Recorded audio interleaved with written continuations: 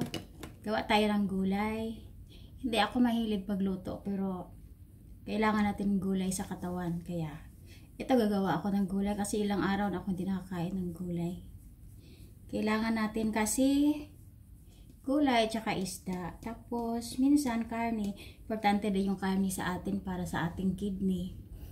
Tapos, hindi hindi sapat ang gulay at saka uh, isda sa ating katawan. Kailangan minsan kahit isang bisis lang sa isang linggo makakain tayo ng karne, uh, sample baboy o kaya manok. Tapos ngayon magluto ako ng gulay. Mahilig lang ako kumain pero hindi ako mahilig magluto.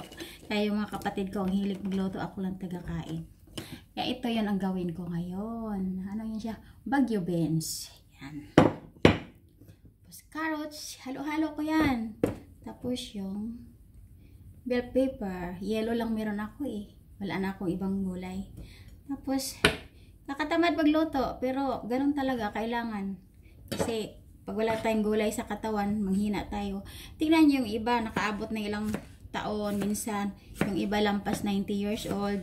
Kasi lagi silang kumakain ng gulay araw-araw. Tapos, pampalakas din yon Kung hindi tayo kakain ng gulay, manghina tayo. Tapos, yung iba, tingnan nyo yung iba kasi ang taba-taba, mahina, masakit ang tuhod, kasi kulang sa gulay yan. Kaya kailangan ko kakain tayo ng gulay. Iba-ibang gulay.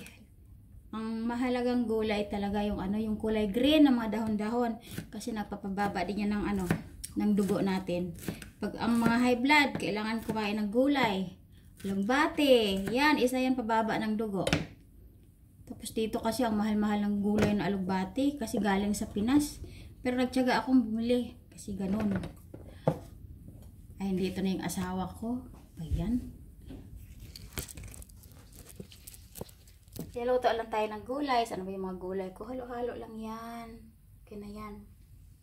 Igisa ko yan. Eh, ang asawa ko mahilig sa salad. Ako naman ayaw ko. Gusto ko luto. Siya lagi lang ano. Salad, salad, salad. Ayan. Ang gwapo kong asawa. Oh, di ba? Ang jackpot, kahit huli sa biyahe, oh, nakahabol pa rin. Mahilig yan sa gulay, eh. ano na yan siya. Sa lamp, lampas na si Tentas, 35 na, pero sa awa ng Diyos, lakas-lakas, oh. Rabuyag. Ang ganyan, haneng. Pinalaki lalo yung mata. Ang bilis na maglakad. Na ano ako niyan. Napagod ako maghabol pag maglakad kami. Naka, nakakaloka. Mm -hmm. Tapos ako ang hina-hina. Tapos siya pala sabi sa akin, nakain, nakain ng gulay. Yan lang. Tapos, siya salad lagi. Ako, ayoko ng salad. Puro lang siya, ano, salad-salad. Eh, syempre, gusto ko lutuin ko talaga yung gulay ko eh. Kaya lagyan ko yan ng ano, haluan ko lang yan ng manok. Igisa ko lang yung gulay ko. diba? Yan lang yung gulay ko yung tanghalian. Tapos, prituhan ko siya ng chicken breast mamaya. Yan. Kailangan kasi ano, balansi yung kain natin. Diba? Kailangan balansi yung kain natin. May karne. Pero ano, kunti lang. Kasi para daw sa kidney yung karne eh. Tapos yung isda at saka gulay, importante yun sa katawan. Tapos, huwag kain ng kain ng mataba. Pero ako mahilig ako sa mataba. Kaya ang dugo ko ang taas-taas. May maintenance na ako. Grabe. Ang dugo ko minsan 190 over 135, 140. Grabe, hilong-hilong nga ang hilong-hilong nga ang beauty eh. Pero okay lang. May maintenance naman. Yun nga sinasabi lagi. May maintenance kain lang tapos eh ngayon bumababa na kasi nagbawas na ako ng mataba. Oh, diba? Sarap-sarap kasi lalo na pagpata, di ba? Sarap nun eh. Tapos nagbaba ako ng konti. Ay, ano na ngayon, normal na yung ano ko. Yung BP. Kasi nga, kain ng kain, ng gulay, at saka isda, bihira na ako ng mataba ngayon. Pero pag nakakain ako ng lobster, grabe, ang sarap oh. yun, tataas na naman yung dugo ko, pati yung hipon. Ay, isa din pala yun sa nagpapataas ng ano, ng BP. Ganun talaga. Eh, hindi kasi nakakain noon eh. Kaya ngayon, banat. Kain ng todo. Tugulo. Kaya magluto tayo ng gulay ngayon. Bagyo Benz, ang mahal-mahal.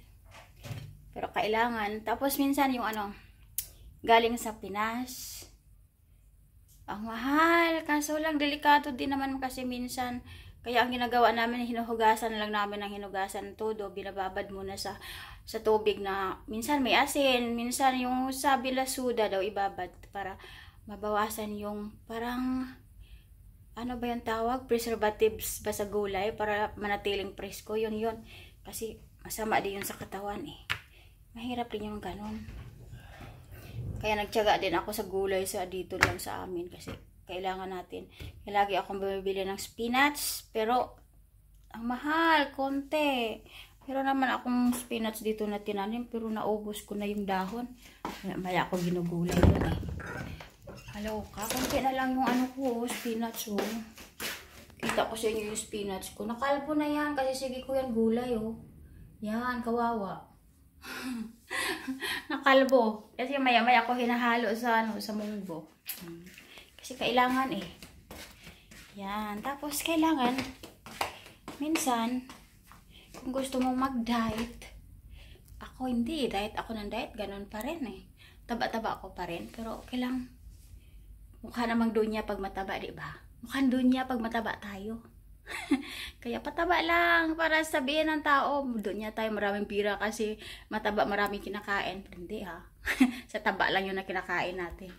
Kailangan lang talaga yon Kahit pagod sa trabaho, pero hindi talaga ako pumapayat oh. Kain lang ng kain kasi. Kakaloka. Eh, ganun lang ang buhay. Kaya ngayon, weekend, luto ako ng gulay.